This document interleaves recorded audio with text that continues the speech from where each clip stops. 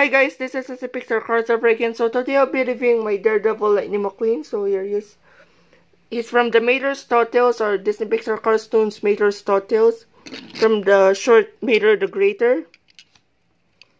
So, so here he is. I pretty much ordered this guy online as usual. Where I get my very hard, very rare and hard to find cars as usual. So yeah. So, so let's get on with the review. So has this scared expression. Has the bug teeth like Mater, which is not, which are not removable. Headlights. I like his expression though. Like the rockets, the rockets are made of are made of plastic and not removable. The string, where they light the match to fire, to fire to power the rockets actually.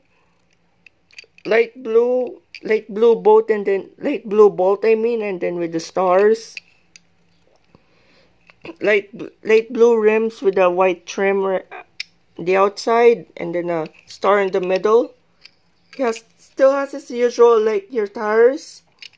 The back tail lights are the strings of the rockets.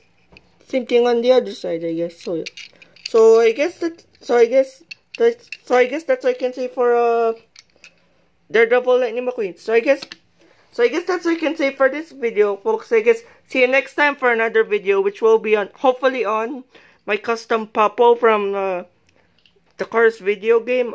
I'm or maybe I mean uh